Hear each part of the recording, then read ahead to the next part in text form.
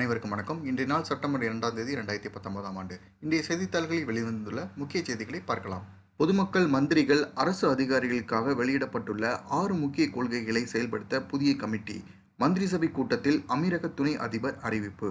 ஐக்கிய அரபு அமீரகத்தை சிறப்பாக கட்டமைக்கும் நோக்கத்தில் அமீரக துணை அதிபர் மேதகு ஷேக் முகமது பின் ரசித் அல் மக்தும் நேற்று முன்தினம் அமீரக மந்திரிகள் அரசுத்துறை அதிகாரிகள் துறை தலைவர்கள் மற்றும் பொதுமக்களுக்காக ஆறு முக்கிய கொள்கைகள் அடங்கிய ஒரு கடிதத்தை வெளியிட்டார்.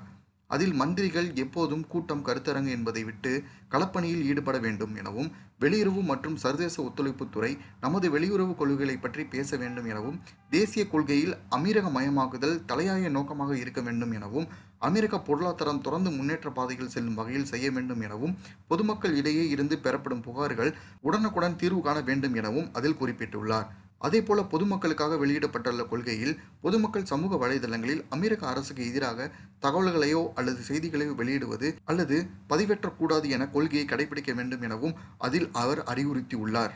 மேலும் அவர் குறிப்பிடுகையில் அமெரிக்க வானொலி மற்றும் தொலைக்காட்சியில் மக்கள் அதிக அளவில் புகார்களை தற்போது தெரிவித்த வண்ணம் உள்ளனர். அரசின் கடமையானது மக்களின் தேவைகளை உடனுக்குடன் பூர்த்தி செய்வதுதான். இதனை உணர்ந்து அதிகாரிகள் செயல்பட வேண்டும் எனவும் அமெரிக்கத்தை வளர்ச்சி பாதையில் அழைத்து செல்ல வேண்டும் எனவும் அவர் அறிவுறுத்தியுள்ளார். கோடை விடுமுறைக்கு பின்பு பள்ளிக்கூடங்கள் திறப்பு. வகுப்பறைக்கு உற்சாகமாக சென்ற மாணவ மாணவிகள். துணை அதிபர் மற்றும் பட்டத்து இளவரசர் வாழ்த்து. சுமார் பதினாறு லட்சத்திற்கு மேற்பட்ட மாணவ மாணவிகள் உற்சாகத்துடன் பள்ளிக்கு திரும்பினர். துபாயில் தீயணைப்பு துறையில் கூடுதல் வாகனங்கள் இணைப்பு. துபாய் தீயணைப்பு துறையில் புதிதாக நவீன வசதி கொண்ட வாகனங்களை இணைக்கும் நிகழ்ச்சி துபாயில் நடைபெற்றது. இதில் தீயணைப்புத்துறை துணை பொதுச் செயலாளர் அலி ஹசன் அல் முக்துவா பங்கேற்று பேசினார். சர்வதேச வேட்டையாடுதல் மற்றும் குதிரையேற்ற கண்காட்சி மூணு புள்ளி ஆறு கோடி திராமுக்கு ஆயுதங்களை விற்பனை செய்துள்ளது. அமெரிக்கத்தை பொறுத்தவரை இருபத்தைந்து வயதை தாண்டிய ஆண் பெண் மட்டுமே துப்பாக்கியை பயன்படுத்த முடியும் என்ற விதிமுறை இருந்து வந்தது. தற்போது இது இருபத்தி ஒரு வயதாக குறைக்கப்பட்டுள்ளது. இதன் காரணமாக இத்தகைய ஆயுத விற்பனை அதிகமாக முக்கியமாக காரணமாக பார்க்கப்படுகிறது. இது மட்டுமில்லாமல் பல்வேறு நாடுகளைச் சேர்ந்தவர்களும் துப்பாக்கியை வாங்க இந்த ஆண்டு அனுமதிக்கப்பட்டனர். எனினும் சொந்த நாட்டில் அவர்கள் துப்பாக்கி வைத்துக்கொள்ள உரிமம் வைத்திருக்க வேண்டும். இந்நிலையில் இதன் மூலம் மூணு புள்ளி நாலு கோடி கிராமுக்கு ஆயுதங்கள் விற்பனை செய்யப்பட்டுள்ளது. அபுதாபியில் இரண்டாம் கட்ட உள்கட்டமைப்பு பணிகள் நிறைவு. பொது சேவை நிறுவனமான முசனதா வெளியிட்டுள்ள செய்திக்குறிப்பில் இவ்வாறு கூறப்பட்டுள்ளது. அபுதாபியில் கடந்த மூணு மாதங்களில் ஒன்பதாயிரத்தி நூற்றி நாற்பத்தி எட்டு போலி பொருட்கள் பறிமுதல். அதிகாரி தகவல். அபுதாபி பகுதியில் பொதுமக்கள் பயன்படுத்தும் பொருட்கள் அனைத்தும் பாதுகாப்பானதாகவும் தரமானதாகவும் இருக்கும் வகையில் பல்வேறு நிறுவனங்களில் தொடர்ந்து ஆய்வுகள் மேற்கொள்ளப்பட்டு வருகிறது. அபுதாபி அலைன் அல் தஃப்ரா உள்ளிட்ட பகுதியில் கடந்த ஏப்ரல் மாதம் முதல் ஜூன் மாதம் வரையிலான காலகட்டத்தில் முப்பத்தி ஓராயிரத்தி முன்னூற்றி இருபத்தஞ்சு இடங்களில் உள்ள நிறுவனங்கள் கடைகள் உட்பட்ட ஆய்வுகள் மேற்கொள்ளப்பட்டது.